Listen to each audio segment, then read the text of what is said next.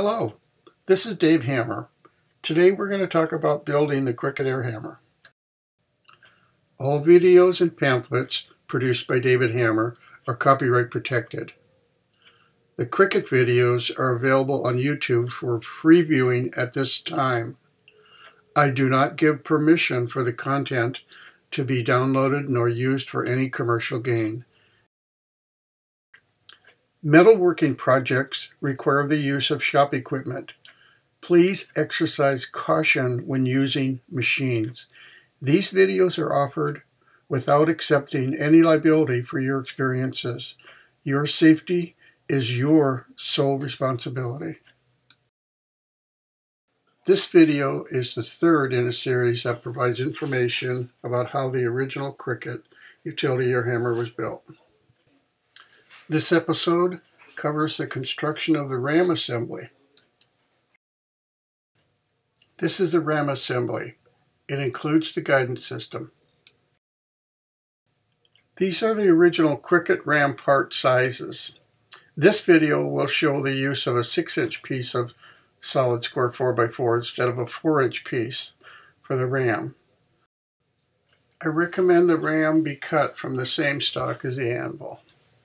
This is to ensure the same size.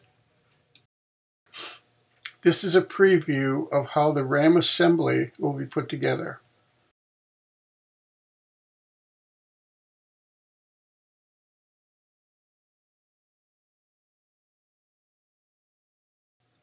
First, we remove the scale on the sides that will have contact with the tower. Uh, this could be accomplished with an acid bath of some kind.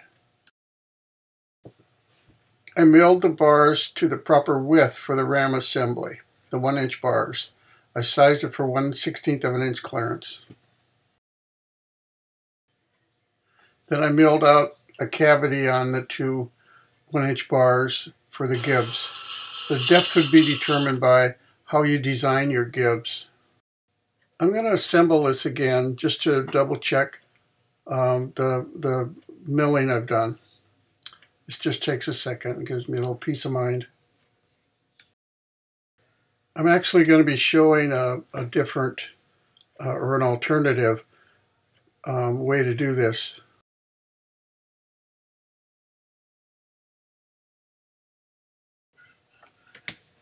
Gib slide down in and then there'll be a retainer made a little bit later to hold that top down.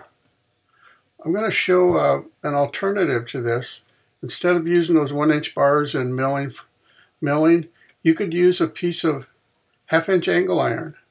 Um, and I actually like this better because the gibs would be full width rather than just a slot.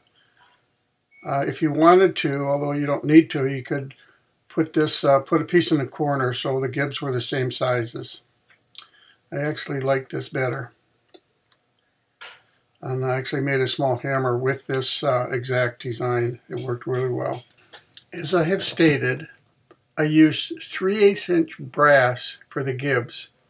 If you decide to use high density plastic, which actually I recommend for your gibs, you will need a metal backing for them and space for the backing. Next, we'll prepare components for welding the ram assembly together. Clamp the assembly together as if you were going to weld it. Here you're looking at the front of the ram. Be sure that you have those die holes positioned properly. Clamp these angle irons on first. Use a perfectly square bar in here, like a, a cold rolled square. Part of your tower actually would be good. This angle is the most important. Notice the angles that come down from the top of the assembly. Mark where those angles are on the angle iron pieces. Use a Sharpie and mark where the bevels need to be ground for welding. Then remove the clamps. Cut these angles with the bandsaw. And if you don't have a bandsaw, a zip disc would work well for that. Then Grind the bevels for welding and grind these deep. This is important. These welds are going to probably take the most stress on the whole hammer during operation. Assemble the components again for, for a review of bevel placement and depth. If angle iron width is excessive, cut it to proper width. I chose to grind this after welding and, and regretted it. Clamp the assembly together for welding. Remember that corner that corner that's being tightened in right now is the most important. You want to triple check that 90 degree angle. Adjust the clamps if necessary. Also, it is critical that the angle iron lines up with each side of the ram. This ram is made of 4140, so it's necessary to preheat. I'll heat this to over 400 degrees before welding. The size of this, it took quite a while to do it. The ram could be mild steel. I used this infrared thermometer to be confident of the temperature. Tack weld all around the assembly. Little half inch welds all around. Use the clamps to uh, turn, but be careful that you don't pull any of them loose. Be patient here.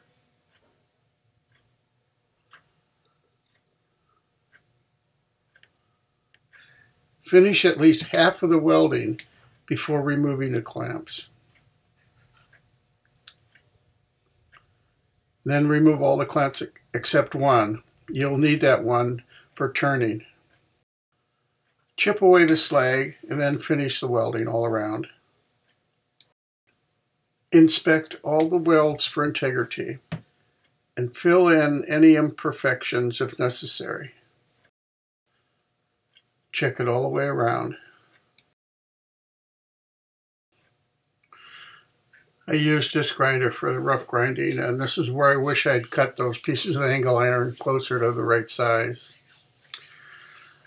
Uh, I then go to a belt sander and do finer grinding. If you're a professional level welder, this grinding would probably not be necessary. Round the corners, take the edge off.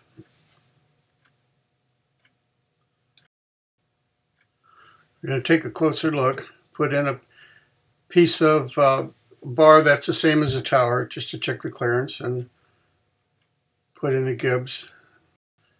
The slots are actually kind of deep for these gibs. I might have to put a backing in for them.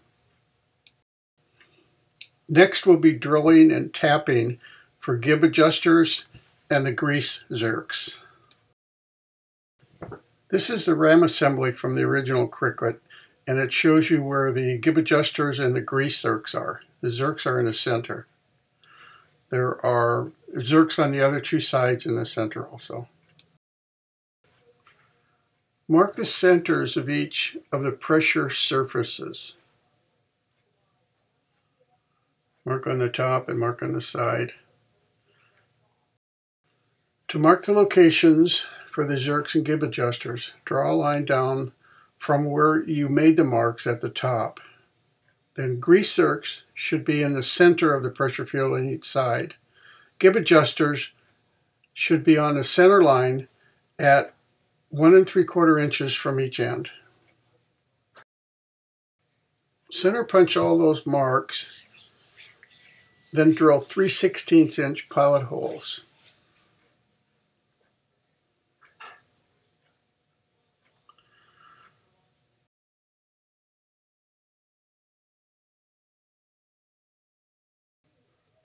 You'll need a way to prop up the assembly when you're drilling on these sides.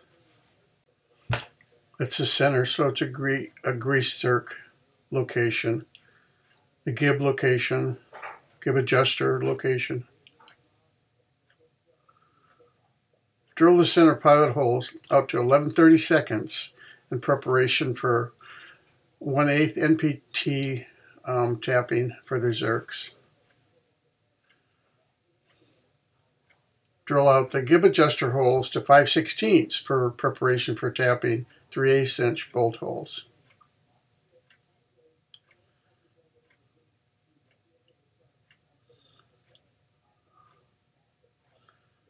Tap the gib adjuster holes for 3 8 bolts.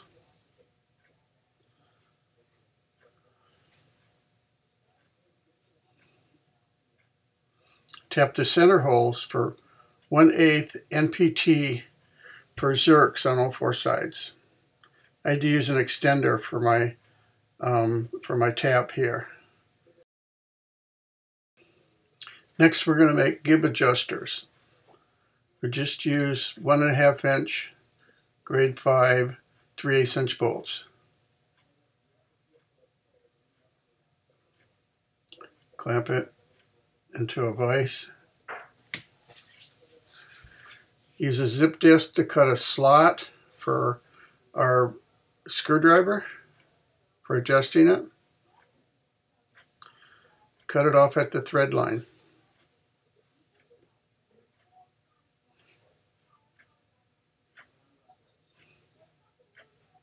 This is hot, so you can't grab it by hand, or shouldn't. So you need to cut four of those. And then clean those ends up on a belt grinder. And finally, you just put nuts on them.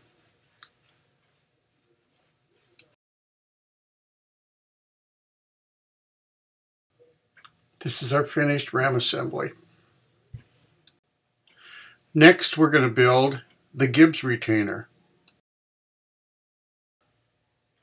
Mark some 1 8 inch plate to make the retainer. I drew around the assembly and then added the, the little one inch square. This is what I ended up with on the sheet metal. Cut it out with a bandsaw, and if you don't have a bandsaw, you can use a zip disc or a porta band. This is thin stuff. Then lay out this the center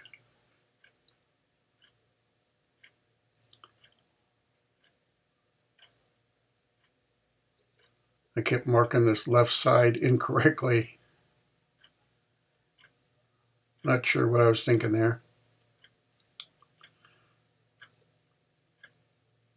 Yeah, I finally got it right.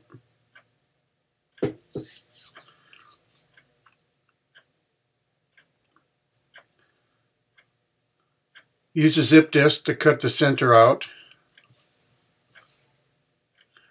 Be careful you don't color outside the lines.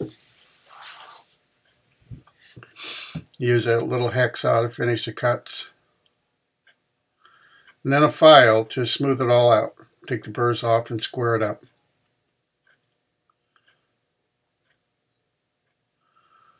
We're going to put four bolts to hold this down.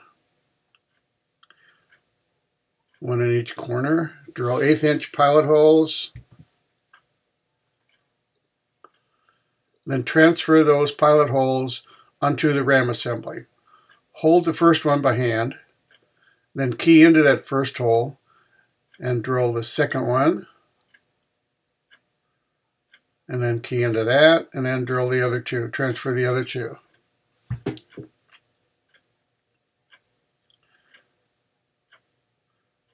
Then drill those holes out to about three quarters of an inch deep using a number seven drill bit enlarge the holes in the retainer to quarter inch for bolts. Then tap the ram assembly for quarter inch bolts.